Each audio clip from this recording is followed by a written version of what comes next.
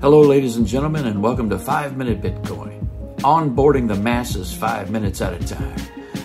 Yesterday's episode, we spoke about the six traits of money. We spoke about specifically trait number one being durability. Today, we're going to talk about portability. And I apologize if you hear a lot of fuzziness in the background. It's because it's pouring rain and there will be some thunder occasionally. So, my apologies. Hopefully, it's not too distracting. Portability. We're going to use three things as the example cash, gold, and Bitcoin. Cash is easy to carry, but gold can be physically taxing to transport in large amounts. It's hard to trade when you have to hire an army just to pay your bills. I like that. That comes from the NYDIG website. Um, I'd like to speak a little bit more about it so that you can get a little bit more clear picture.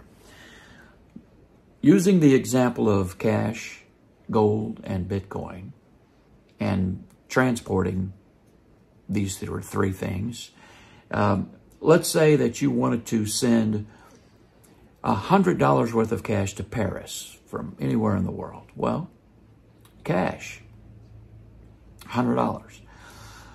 Well, you could uh, mail it and cross your fingers, or you could bring it physically, and you're going to spend a lot more depending on where you're at. If you're outside of Paris, you're going to spend a few bucks. If you're halfway around the world, well, then it's going to be into the thousands just to send $100 cash. So, let's move on to gold. Gold, all right, let's say you want to give someone in Paris $100 in gold. Okay, same thing. You want to mail $100 in gold? Good luck. It might get there. And it's going to take a few days, depending on where you're at in the world. Or, again, if you want to physically deliver it yourself, I'd go first class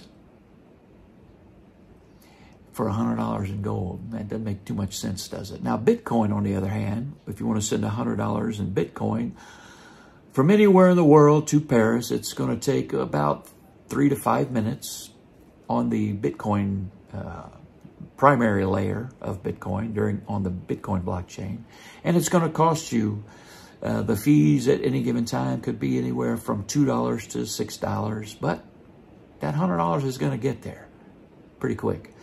Now, if you send it on the second layer, uh, if you send it on, for example, the Lightning Network, well, it's going to get there in seconds and it's going to cost you pennies. And you can verify that it's there easily.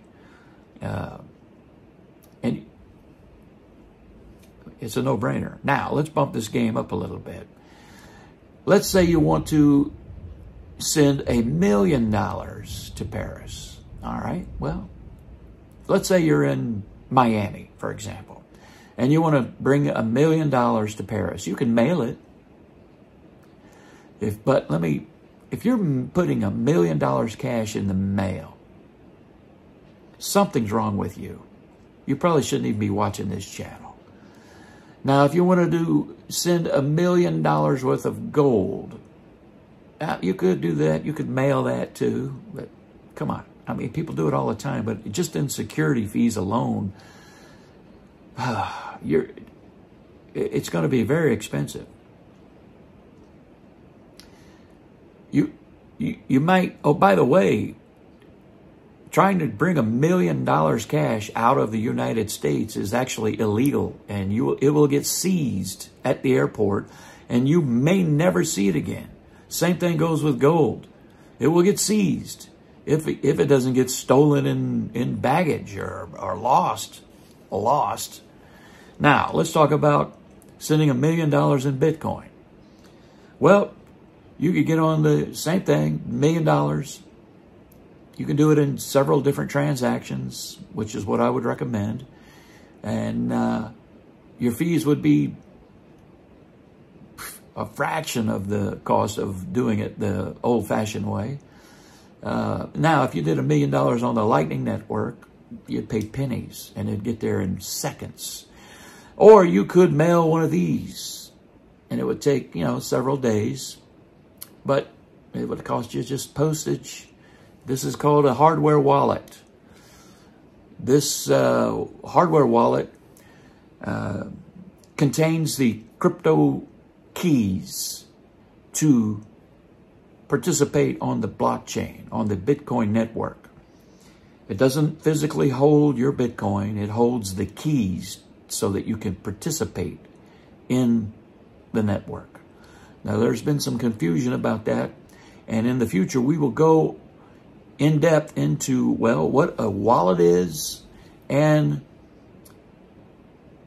how it allows you to store the keys, the keys that allow you to participate on the Bitcoin network. We'll talk about that in the future.